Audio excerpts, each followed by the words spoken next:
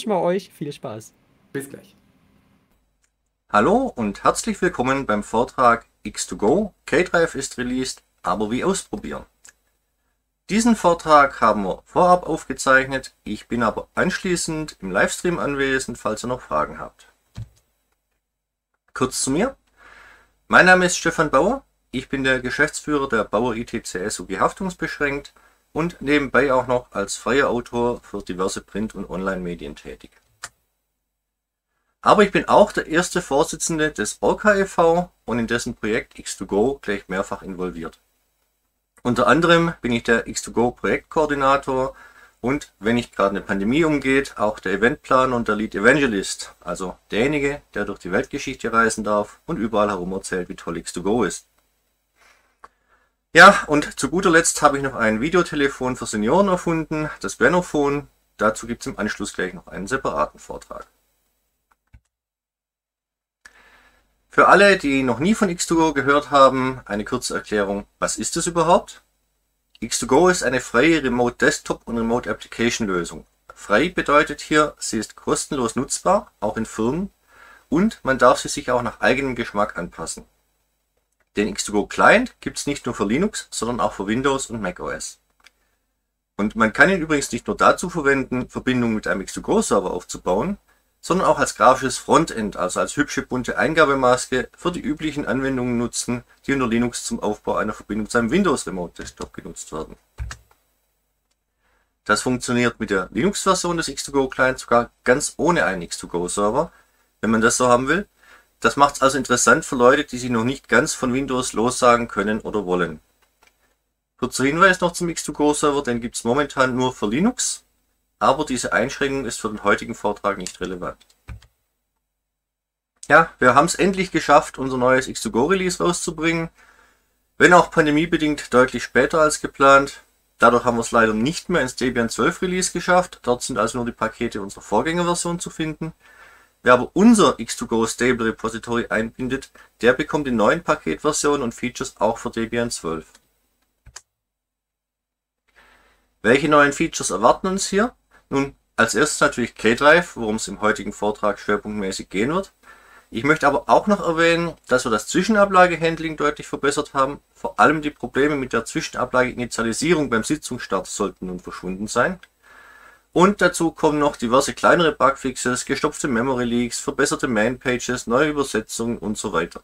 Das Upgrade lohnt sich also. Was ist jetzt K-Drive? K-Drive ist ein neues Protokoll und eine Alternative zum bisher von uns genutzten NoMachineX-Protokoll. K-Drive nutzt eine etwas andere Herangehensweise. NX nutzt einen clientseitigen X-Server, um dort die Ausgabe zu generieren. K-Drive verlegt den X-Server auf den Server und zeichnet dann selbst auf dem Client, ohne an einen clientseitigen X-Server gebunden zu sein. Damit wird es in Zukunft auch hoffentlich möglich sein, X2Go Client nativ auf einem Wayland-Client zu betreiben. Moderne Desktops wie GNOME 3 und KDE Plasma 4 und 5, aber auch Anwendungen wie Chrome, Chromium und die Firefox-Versionen der letzten Jahre, die wurden und werden mehr und mehr auf lokale Performance getrimmt und vernachlässigen dadurch sträflich die Netzwerkfähigkeiten von X11. Deswegen ist das NX-Protokoll hier nicht mehr so performant wie noch vor ein paar Jahren.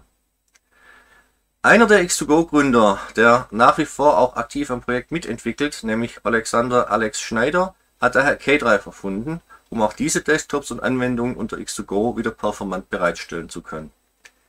K-Drive ist übrigens auch Voraussetzung für den momentan nur als Beta verfügbaren HTML5 Client, da man nun auf die Implementierung eines X-Servers in JavaScript verzichten kann. Und mal ehrlich, ein X-Server in JavaScript, das will doch niemand haben, das wäre ja schon fast ein Verstoß gegen die Genfer Konvention.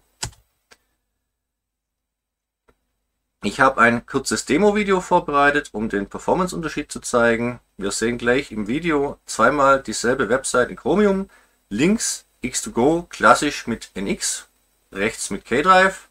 Und wie man sehen wird, mit K-Drive scrollen die Browserinhalte deutlich flüssiger. Wer sich das selbst anschauen möchte, der findet rechts auch den Link zum Video auf YouTube.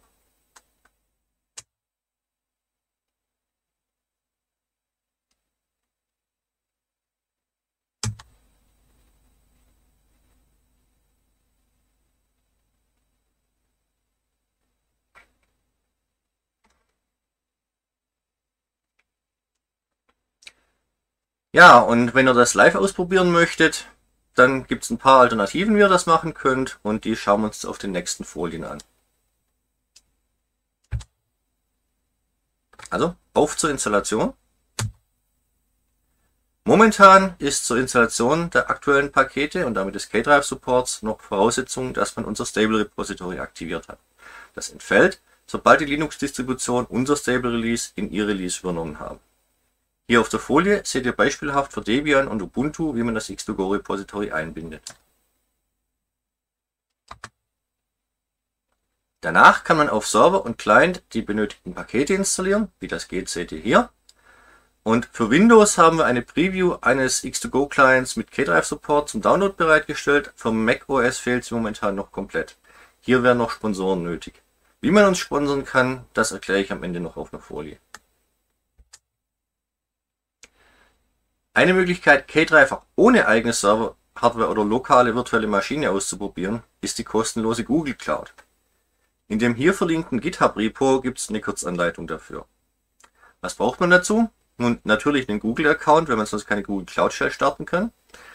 Einen lokal installierten X2Go-Client und einen lokal installierten Tor-Client.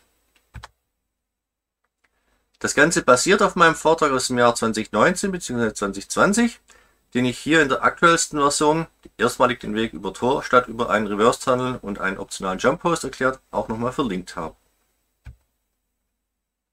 Was seit damals neu dazugekommen ist, ist die Anpassung auf Debian Bookworm, also Debian 12. Dann gibt es zwei neue Befehle, mit denen man ein Serverabbild wegsichern und wiederherstellen kann. Und eben den optionalen K-Drive Support. Aber erstmal, was steckt denn eigentlich hinter dieser Google Cloud Shell?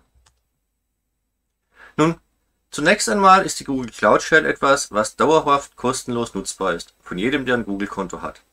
Also im Prinzip jeder, dein Gmail-Postfach und oder ein Smartphone mit Android und Google Play Store benutzt. Wichtig dabei, für die Nutzung der Cloud Shell allein ist keine Angabe von Kreditkartendaten notwendig. Nur für die darüber hinausgehenden Angebote von Google, auch da gibt es einige dauerhaft kostenlose, da ist die Kreditkarte nur zur Identifizierung da, aber nur für die darüber hinausgehenden Angebote braucht man eine Kreditkarte, nicht für die Cloud Shell. Bezüglich der Features, wir bekommen eine temporäre virtuelle Maschine auf Basis von Docker. Die wird nach so 20 bis 60 Minuten Inaktivität gelöscht. Das Home-Verzeichnis bleibt aber mindestens 120 Tage über das letzte Einloggen hinaus erhalten. Und man bekommt noch eine Reminder-E-Mail, bevor gelöscht wird. Einmal kurz einloggen und die 120 Tage beginnen von vorn. Diese Hostmaschine, die ist aktuell noch ein Debian 11, also Bullseye Linux in der 64-Bit-Version. Der Shell-Zugriff, der erfolgt via Browser. Per HTTPS ist er geschützt und die Authentisierung erfolgt über das Google-Konto, also normale Google-Benutzername, Passworteingabe und halt im Sales-Fall noch der zweite Faktor, wenn man den nutzt. Man hat in diesem Docker-Container praktisch volle Root-Rechte mittels sudo und die virtuelle Hardware besteht mittlerweile aus einem Intel Xeon mit vier Kernen, früher waren es mal bloß zwei, äh, und 2,2 GHz sowie 16 GB RAM mittlerweile, von denen allerdings schon grob 4 GB im Leerlauf belegt sind. Im Root-Verzeichnis sind grob 19 GB frei, im Home grob 4,5 GB und man bekommt aus diesem Container raus auch vollen Internetzugang, allerdings nur über eine IPv4-Adresse aus dem privaten Adressbereich. Es wird also Network Address Translation genutzt, wie beim heimischen DSL oder Kabelrouter. Outbound von diesem Cloud-Server ins Internet geht also alles nicht nur Webkram, sondern man kann sich zum Beispiel auch per SSH auf weitere Server im Internet weiterhangeln. Nur von draußen auf den Cloud-Server zu kommen, ohne diese Webkonsole zu nutzen, das geht halt erstmal nicht. Es gibt zwar ein Web-Preview genanntes Port-Forwarding von Port 8080, aber das ist nur über eine HTTPS-URL nach Anmeldung erreichbar. Anmeldung dabei übrigens äh, mit dem eigenen Google-Konto. Man kann das also nicht mehr weitergeben, die, äh, die Anmeldedaten. Um diese Einschränkungen nochmal zusammenzufassen. Wir haben durch die Network Address Translation keine von außen erreichbare IP und auch keinen DNS-Namen. Wir haben keine IPv6-Adresse. Und durch die Docker-Virtualisierung haben wir auch keine Möglichkeit, Kernel-Module nachzuladen. Deswegen können wir auch nicht einfach mal ein OpenVPN oder WireGuard-Client installieren. Eine Auslagerungsdatei einlegen, das geht tatsächlich mittlerweile, das ging früher nicht. Aber das Root-Verzeichnis ist zum Beispiel auch nicht persistent. Schaltet Google die Maschine aus, wenn man länger als die 20 Minuten disconnected war, dann ist alles weg, was man dort an Daten, Programmen oder Config-Files hatte. Nur das Home-Verzeichnis bleibt die 120 Tage erhalten. Weitere Einschränkungen. Diese Web-Preview ist, wie gesagt, nur von dem PC aus erreichbar, auf dem man per Google-Account eingeloggt ist und die Cloud Shell im Browser geöffnet hat. Da wird ein Cookie gesetzt oder irgendwas. Man kann also diese URL mit den Anmeldedaten nicht einfach weitergeben oder als öffentlichen Webserver dann irgendwo verlinken. Geht nicht. Und Copy-Paste in dieser Shell geht nur mit Ctrl-C und Ctrl-V. Also genauso, wie man es als Unix-User an der Shell eben nicht machen wird. Das ist eine gewisse Umgewöhnung. Die Nutzung dieser Cloud Shell als Server ist also, wie man anhand der ganzen Einschränkungen sieht, nicht von Google vorgesehen. Sie funktioniert aber trotzdem und wie gesagt ganz ohne Angabe von Kreditkartendaten. Man ist allerdings auf 50 Betriebsstunden in einem 7-Tage-Korridor beschränkt. Das Hauptproblem ist, wie macht man dieses System jetzt von außen erreichbar? Denn wir haben ja wie gesagt keine offizielle IP, können keinen VPN-Client installieren und haben auch kein richtiges Port-Forwarding, was wir einrichten könnten. Es gibt nur diese Web-Preview. Und die schickste Lösung dafür ist eindeutig Tor, die Onion Router. Tor lässt sich nämlich auch als Dünn-DNS-Ersatz und zum Überwinden von Firewalls, auch NAT-Firewalls, nutzen. Und Tor funktioniert wunderbar in der Cloud Shell, anders als OpenVPN und WireGuard. Durch die Nutzung des Non-Anonymous Server Modes von Tor kann man die Anzahl der Hops von 3 auf 1 reduzieren und damit sinkt die Latenz auf ein erträgliches Maß für Remote Desktops. Als Client braucht man dazu nur ein Ubuntu 2004 LTS oder neuer. Da ist alles an Bord, was man braucht. Ältere Linux-Distributionen oder wenn man Windows oder macOS als Client nutzen möchte, da wird es eventuell komplizierter. Ja, und wo telefonieren wir mit Tor denn jetzt hin? Anders als bei einem klassischen VPN brauchen wir keine direkt im Internet erreichbare Maschine mit einer statischen IP oder dünn DNS und womöglich noch einem Port Forwarding in dem Router. Nein, sowohl unser Cloud-Server als auch unser Client wählen sich ins Tor-Netzwerk ein. Und der Cloud-Server ist hierbei über einen beliebigen Port, den wir hier halt auf 222 gesetzt haben, und seine weltweit eindeutige Onion-Adresse aus dem Tor-Netzwerk erreichbar. Der Client braucht natürlich auch die Tor-Software, um sich einwählen zu können. Und man muss aber trotzdem die Security im Auge behalten. Die Tor-Adressen bieten einen gewissen Angriffsschutz. Die sind nicht so leicht durchzuprobieren und zu scannen wie zum Beispiel IPv4-Adressen. Dass sich also ein Hacker beim Herumprobieren zufällig auf die Maschine führt, die wir da eingerichtet haben, ist bei Tor im Vergleich zu IPv4 relativ unwahrscheinlich. Trotzdem ist Zwei-Faktor-Authentisierung von einem SSH-Server, der übers Internet erreichbar ist, heutzutage einfach Pflicht. Einen Nicht-Standard-Port zu verwenden, das reicht nicht, schon gar nicht, wenn er die übliche Portnummer mit enthält, ähm, was bei SSH 22 ist. Ähm, die werden halt einfach als erstes durchprobiert. Und ja, klar, man könnte sowas wie Fail to Ban nutzen, damit spart ein Hacker auch aus, nur blöderweise halt auch mal schnell sich selbst. Deswegen verzichten wir auf Fail to Ban und nutzen stattdessen Zwei-Faktor-Authentisierung. Welche Option man dabei dann nutzt, ein SSH-Key-File, ein Hardware-Token oder eine OTP-App auf einem Smartphone, das ist dagegen eher zweitrangig. In der Praxis sieht das dann so aus, dass man die Installationsskripte in der Google Cloud Shell Konsole per Git Clone aus meinem GitHub Repository auscheckt. Danach muss man noch den Ordner GoPath, den Google manchmal im Home Directory automatisch anlegt, verschieben und einen Symlink zu unserem GoPath-Verzeichnis im Git anlegen. Das ist ein Trick, damit man die Executables automatisch im Pfad hat und sie nicht jedes Mal mit vollem Pfad aufrufen muss oder sie jedes Mal manuell nach User Local Bin oder User Local S-Bin kopieren muss, wenn man sich neu einloggt. Als nächstes muss man die Konfigurationsdatei anlegen. Wie ihr in der ersten Zeile seht, kann man problemlos auch Debian 12 Bookworm im Change Root verwenden, trotz Debian 11 Bullseye auf dem Host. Server Use Root muss mittlerweile auf True stehen. Eine Installation im Home Directory ist nicht mehr möglich, da hat uns Google den Rechten beschnitten. Und bei Servername, Username und User Real Name könnt ihr frei wählen, was ihr eintragt. Nur falls ihr halt bisher ein anonymes Google-Konto habt, wäre es jetzt blöd und ungeschickt, dort eure echten Daten einzutragen. Weil dann seid ihr halt nicht mehr anonym, wenn das Google irgendwann mal findet. Wichtig ist am Schluss jetzt noch das Use X2Go Repo Stable. Damit werden die X2Go-Pakete aus dem X2Go Stable Repo gezogen, statt die aus Debian 11 oder 12. Die Debian-Pakete haben nämlich noch gar kein oder zumindest kein funktionierendes K-Drive dabei. Euler ginge natürlich auch, dann zieht ihr die Nightly Builds. Ähm, und danach braucht man nur noch die beiden gezeigten Befehle zur Installation und zum Start. Diese Installation, die würde zu grob 8 Minuten dauern, deswegen nutzen wir jetzt aus, dass das eine Aufzeichnung ist. Ich erkläre euch noch schnell, wie die Installation und die Konfiguration von X2Go Client und Tor Client funktioniert und dann geht es mit dem fertig installierten Server weiter. Die Installation von Tor ist ganz einfach, sofern ihr ein Ubuntu 20.04 oder neuer habt. Genauso tut es ein aktuelles Debian. Einfach sudo apt install tor netcat eingeben. Unter Windows sollte es auch gehen, da habe ich es aber nicht getestet. Wo ihr da die notwendigen Pakete her, wo ihr da die notwendigen Programmpakete herbekommt, das habe ich euch hier verlinkt. Und die Tor-Konfiguration, die ist eigentlich eine SSH-Client-Konfiguration. Man muss nämlich nicht das Tor-Config-File bearbeiten, sondern die benutzerbezogene SSH-Config. Nochmal ganz deutlich der Hinweis, das ist nicht die etc ssh sshd.conf, sondern das ist im Home des lokalen Users im Ordner .ssh. Der Eintrag bei Host ist frei wählbar. Ich würde halt was Sprechendes verwenden, wie hier im Beispiel. Und man muss genau diesen Namen hinterher im X2Go Client eintragen.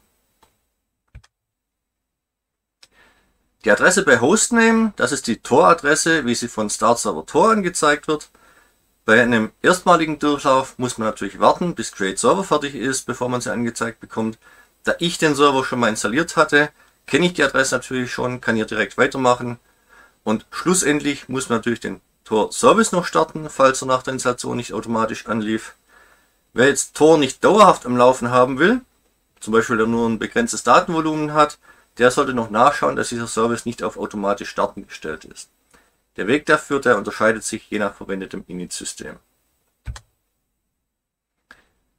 Die Konfiguration des X2Go Clients, die ist mittlerweile auch ganz einfach. Ältere Versionen waren da im Zusammenspiel mit Tor noch etwas zickiger. Da muss man mit ein bisschen von hinten durch die Brust ins Auge arbeiten. Deswegen achtet auch beim Client bitte darauf, dass er das X2Go Stable Repo verwendet, wenn ihr ihn installiert. Und Falls ihr noch gar keine Sitzung konfiguriert habt, dann landet ihr automatisch im passenden Fenster. Ansonsten geht ihr auf Sitzung, Neue Sitzung und vergebt als erstes einen Sitzungsnamen. Bei Host gebt ihr den Namen ein, den ihr vorher bei der SSH Client Konfiguration in die Hostzeile gesetzt habt. Und der Benutzername ist der aus der Server Konfigurationsdatei. Als Port müssen wir 222 setzen. Das kommt daher, dass der Docker-Host schon selbst auf Port 22 einen SSH-Daemon laufen hat. Unser Installationsskript ändert daher automatisch den Port innerhalb des Change Roots für euch auf 222. Das Kontrollkästchen in X2Go K-Drive ausführen, das solltet ihr jetzt auch ankreuzen, außer euer Client ist so alt, dass ihr keinen funktionierenden K-Drive Support habt, beziehungsweise wenn ihr in der Serverkonfiguration weder das Stable noch das Heuler X2Go Repository ausgewählt habt. Zum ersten Test würde ich euch XFCE 4 als Desktop empfehlen, mit dem testen wir auch immer. Ihr könnt natürlich auch GNOME 3 oder KDE Plasma 5 auf dem Server nachinstallieren. Dafür, dass ihr das dann nicht jedes Mal neu installieren müsst, wenn, müsst, wenn ihr ihn startet, gibt es dann dieses Free-Server und V-Server-Kommando-Paar. Statt Create-Server nehmt ihr dann beim Start V-Server und nach Stop-Server ruft ihr noch einmal Free-Server auf. Und da auf der Warnstrecke in die Google Cloud eh kein störungsfreier Sound funktioniert, kann man den Sound Support auf der Registerkarte Medien auch gleich noch abschalten. Das spart dann noch ein bisschen Bandbreite.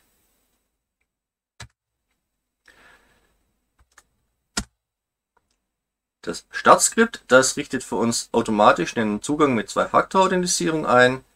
Den QR-Code für die OTP-App auf dem Handy, das kann der Google Authenticator sein, aber auch für OTP Plus oder eine andere. Den kann man direkt einscannen. Gegebenenfalls muss man die Schrift etwas verkleinern und das Bild hochscrollen. Außerdem bekommt man 10 Notfallcodes, die man sich ausdrucken kann, falls man mal keinen Zugriff auf die App hat. Und zu guter Letzt bekommt man noch die Onion-Adresse angezeigt, unter der der Server zukünftig erreichbar ist. Die bleibt persistent, solange man die Home Directories nicht löscht. Deswegen kenne ich meine für diese Demo hier natürlich auch schon. Wichtig noch, es kann ein paar Minuten dauern, bis die Verbindung ins Tornetz steht. Also nicht gleich die Flinte ins Korn werfen, wenn der Connect nicht gleich beim ersten Mal klappt. Um die Sitzung zu starten, klicken wir bei im Hintergrund laufendem Tor-Service und gestartetem X2Go-Client auf die Sitzungskachel und geben das Passwort ein.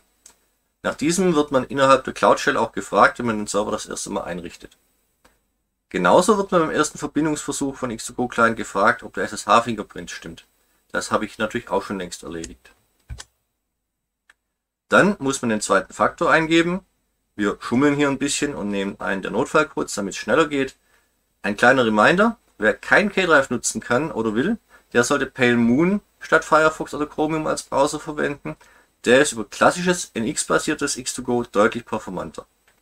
Pale Moon wird automatisch von unserem Installationsskript mit installiert. Mit HTTPS utrace me können wir dann übrigens noch schnell nachschauen, wo denn unser Cloud-Server tatsächlich gerade steht.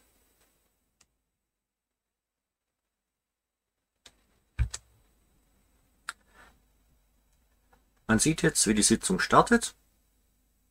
Ich klicke in der Taskleiste auf den Browser-Button, Firefox öffnet sich mit den voreingestellten Seiten und ich wechsle auf den Utrace-Tab. Aha, unser Server steht also irgendwo in Brüssel, Belgien.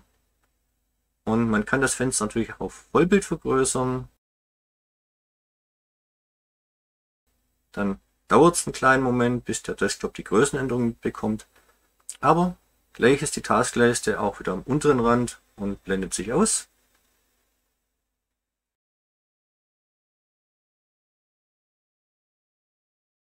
Und über das Menü am oberen Bildschirmrand kann ich die Darstellung auch auf komplett Vollbild schalten, sodass die Fensterdekoration meines lokalen Desktops ausgeblendet wird.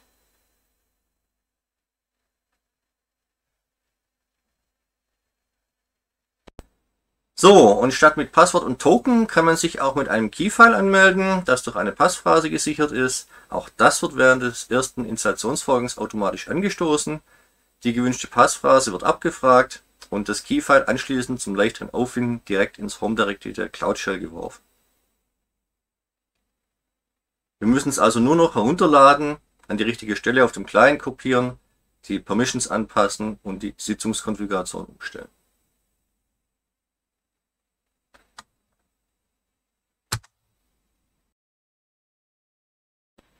Hier bin ich jetzt im .ssh-Verzeichnis. Dort will ich die Datei speichern. Wie gesagt, man muss danach noch die Permissions anpassen, damit das funktioniert. chmod 600, also Schreib- und Leserecht nur für den eigenen Benutzer. Und hier seht ihr jetzt noch im X2Go-Client die Stelle, an der man Pfad und Dateiname des Keyfiles hinterlegen muss. Danach wird kein Passwort mehr abgefragt und auch kein Tokencode sondern nur noch die Passphrase des Keyfiles. Man kann das Keyfile natürlich auch in SSH Agent laden, dann kommt gar keine Abfrage mehr, sondern man wird direkt nach dem Klick auf die Sitzungskachel ange nach, sondern man wird direkt nach dem Klick auf die Sitzungskachel direkt angemeldet. Auch den Login mit dem Keyfile schauen wir uns natürlich nochmal live an.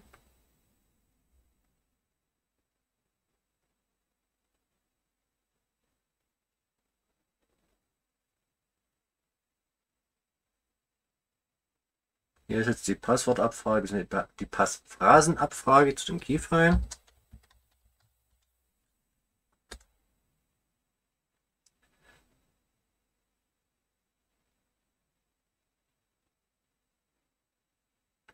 Sitzung startet. Geht natürlich kommt wieder auf dem falschen Bildschirm mehr auf die Aufzeichnung, aber das können wir fixen. Ich schiebe sie hier rein. Und ich gehe dieses Mal vielleicht gleich auf den Vollbildmodus. Monitor 2.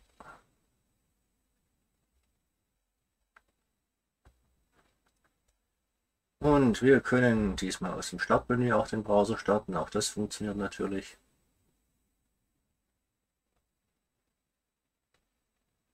Heise muss natürlich jetzt wieder Werbung einblenden, wo ich eigentlich den Artikel zeigen möchte. Aber sei es drum, Scroll, scroll. Und obwohl das jetzt also Vollbild ist mit äh, 1920 auf 1080er Auflösung, muss man sagen, trotz Tornetzwerk, was ja auch Latenz noch ins Spiel bringt, scrollt das Ding immer noch recht flüssig.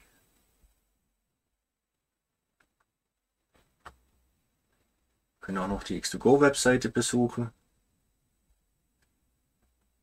Oder wir schauen vielleicht mal bei den Tux-Tagen vorbei.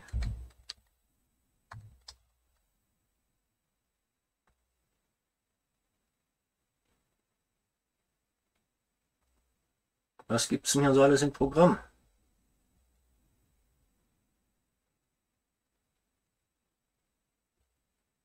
Freitagsvortrag, Samstag, Sonntag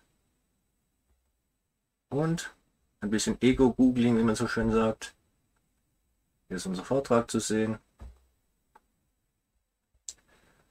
Und das ist natürlich nicht alles. Wir haben natürlich ein Office-Paket mit installiert. Das heißt, ich kann hier den LibreOffice weiter aufmachen.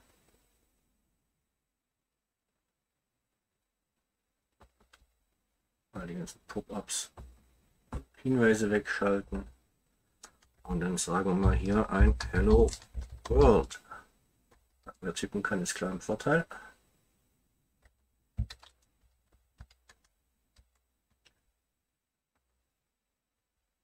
Machen das mal schon groß. Hier gibt es doch bestimmt auch einen Zentrieren-Button. Genau. Also Office funktioniert auch da drin.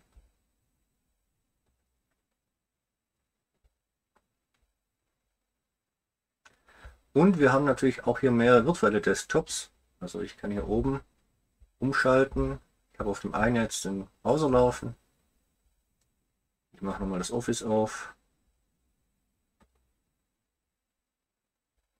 Also auch die virtuellen Desktops, die ein XFCE oder so kennt, werden hier mit unterstützt.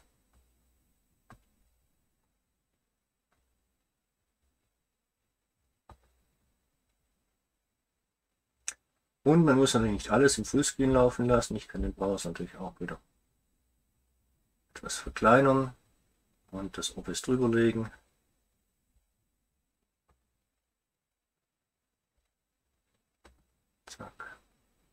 das will so nicht. Dann schieben wir das so hin. Irgendwo kriege ich die Ecke auch bestimmt mal gepackt. So,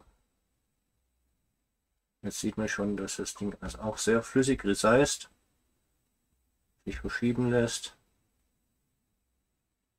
Ein klein bisschen Lag ist drin, das denke ich kommt jetzt hier vom äh, Tornetzwerk.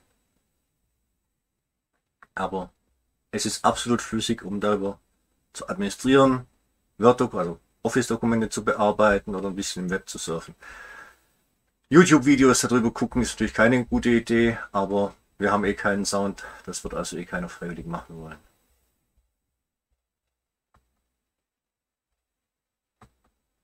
Sound im LAN ist natürlich kein Problem, aber auf der Warnstrecke, vor allem noch mit Tor dazwischen, kann ich das nicht guten Gewissens empfehlen, einen Ton einzuschalten.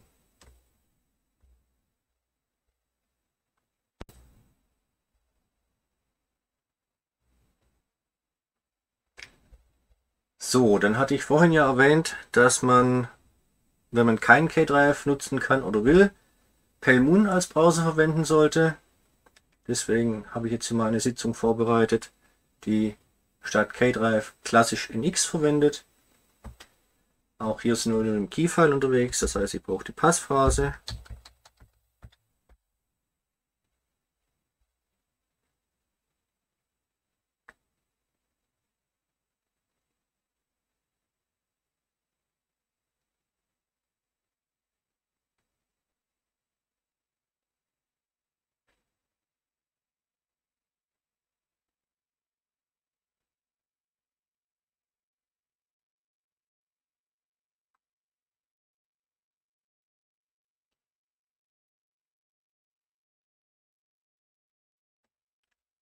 Und hier haben wir unsere neue X2Go-Sitzung.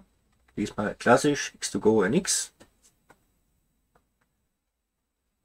Ein Tipp übrigens noch, egal ob ihr mit NX oder mit K-Drive unterwegs seid, macht das Hintergrundbild aus. Also bei XFCE geht es über die Desktop Settings, wo man dann hier sagt Style None und Color Solid Color weil eine einfarbige Fläche als Hintergrund eben deutlich schneller zu übertragen geht, wie wenn er hier die einzelnen Pixel von irgendwelchen Farbverläufen oder so schieben muss. So, dann auf zum Pale Moon Web. Der meckert jetzt, dass er nicht Standardbrowser ist. Das ist aber in Ordnung so. Normalerweise nehmen wir jetzt auch den Firefox, wenn wir K-Drive zeigen wollen. Aber jetzt machen wir doch mal die Tux-Tage im Pale Moon. Und zwar gehen wir direkt auf den Veranstaltungskalender und ja, also es ist etwas behäbig, sage ich mal, aber Firefox würde jetzt an der Stelle noch viel schlimmer ruckeln und hakeln. Mach den Browser dazu, gehen wir zum Vergleich ins Office rein. Ich laufe es weiter. So. Und da sind wir wieder mit unserem Hello World. Das läuft relativ zügig, auch mit NX. Das heißt, wenn man nur Office-Kram machen will, kommt man auch mit klassisch NX noch weit.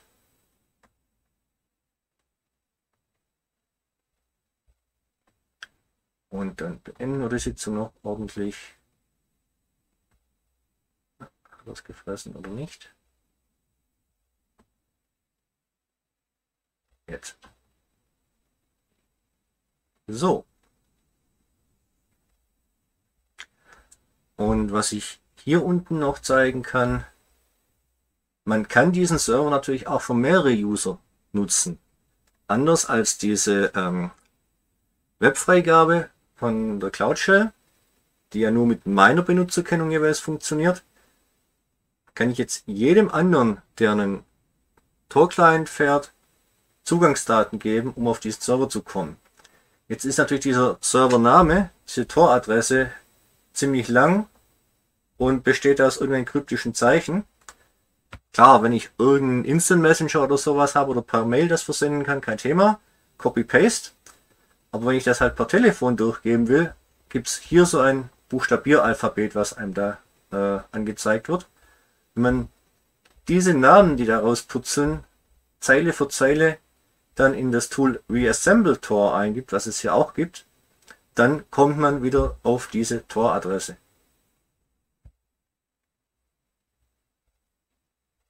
Das also als kleine Abkürzung oder ja, ich will nicht sagen Eselsbrücke, aber als kleine Hilfe, wie man die Adresse eben direkt am Telefon weitergeben kann.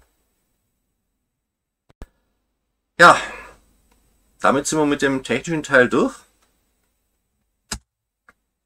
Weiter geht es jetzt mit dem Ausblick auf die nächsten Events, bei denen wir vertreten sein werden. Der Termin für die Jahreshauptversammlung unseres Dachvereins Orca e.V. ist der 10. Dezember 2023 um 11 Uhr.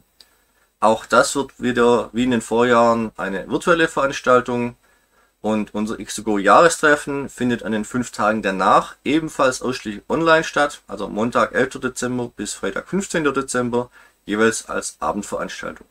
Die genaue Startzeit, die werden wir in Kürze noch festlegen. Und als letztes noch der Hinweis, X2Go lebt vom Mitmachen. Wir sind immer auf der Suche nach Helfern. X2Go kann immer zwei Dinge von euch brauchen. Zeit bzw. Know-how, auch von Nicht-Programmierern, oder Zuwendungen in Form von Geld, Hardware-Spenden oder Dienstleistungsaufträgen. X2Go ist ein Projekt des Orca e.V. und an diesen Verein kann man, da er als gemeinnützig anerkannt ist, auch Geld- und Sachspenden leisten, die sich zumindest in Deutschland von der Steuer absetzen lassen. Oder wer eine offizielle Rechnung lieber mag als eine Spendenbescheinigung, der kann auch eine der im Projekt vertretenen Firmen beauftragen, gegen Geld Dinge für X2Go zu tun, wie Fehler zu beheben, neue Features zu entwickeln oder die Dokumentation zu verbessern. Wer uns etwas spenden möchte, der kann das gern über den Orca e.V. tun. Dazu haben wir extra eine Spendenseite bei WirWunder bzw. Better Place. Spenden kann man dort wahlweise via PayPal, Kreditkarte, Giropay, PayDirect oder Überweisung. Und die Firmenliste für die kommerziellen Aufträge, die findet man im X2Go Wiki. Der richtige Link ist etwas lang, daher der Umweg über den zugegebenermaßen etwas kryptisch aussehenden Kurzlink mit diesem 0 SPNN5 hinten dran. Damit sind wir am Ende des Vortrags angelangt. Ich bedanke mich für das Interesse und stehe jetzt gleich im Livestream noch für Fragen bereit.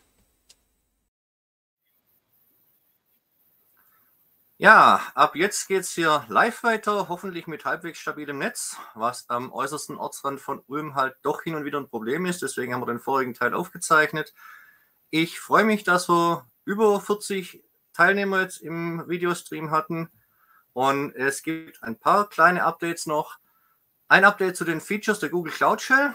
Anders als ich in der Aufzeichnung gesagt habe, hat man mittlerweile nicht immer vier Kerne und 16 GB RAM sondern das scheint rein zufällig zugewiesen zu werden. Manchmal bekommt man bloß zwei Kerne. manchmal auch einen AMD Epic 7B12 statt einem Intel Xeon. Und diese 16 GB RAM bekommt man wohl auch nur in Kombination mit den vier Xeon-Kernen. Create-Server braucht auf allen diesen Instanzen grob 7 bis 8 Minuten. Das heißt, da ist der Flaschenhals die Disk-IO. Auf dem AMD mit den, 12, äh, mit den zwei Kernen braucht ein Free-Server grob 30 Minuten, ein Thaw-Server 2 Minuten. Auf Intel Xeon mit zwei Kernen braucht das Free-Server 26 Minuten, Thaw-Server 1,5 Minuten. Und auf dem Intel Xeon mit den vier Kernen braucht Free-Server 15 Minuten und Thaw-Server eine Minute. Und diese AMD Epics, die scheinen in einem Google Data Center in South Carolina angesiedelt zu sein. Die Xeons sowohl in der 2 wie auch in der 4-Kern-Version dagegen in Brüssel, Belgien. Ja, und jetzt noch einen schönen Gruß an Hans Luft, der die drei Vorträge vor mir gehalten hat und in seinem SSH-Vortrag auch X2Go erwähnt hat. Deswegen ein kurzer Einschub auf Englisch für ihn. Hands, if you're looking for more information regarding X2Go, while most of our videos are in German, we have a few English language videos on YouTube, and I would like to recommend these two to dive in. The first one is me explaining X2Go in general. The second one focuses on our latest features. And also, in case you missed my comment earlier in your presentation, if you're looking for a fast and responsive browser on classic X2Go NX, use Pale Moon instead of Firefox or Chrome. Though I'd really recommend uh, switching to our latest release and activating the K-Drive features. So, jetzt geht's wieder auf Deutsch weiter. Bei unserem X2Go Jahrestreffen wird es nun wahrscheinlich um 20 Uhr losgehen. Ich habe nämlich bislang keine Rückmeldung bekommen, dass wir früher anfangen sollen. Und damit sind wir auch am Ende der Updates angelangt. Hier sind nochmal die Spenden- und Kontaktlinks. Ich bedanke mich nochmals für das Interesse. Wie gesagt, im Stream hier direkt auf der Tux-Tagesseite waren es über 40, fast 50 Leute teilweise. Auf YouTube wohl ein bisschen weniger, aber sei es drum. Ich stehe ab jetzt für Fragen bereit und zwar im Jitsi-Raum und im Anschluss an die Fragen geht es dann weiter mit, meinem Vortrag zum Granophone.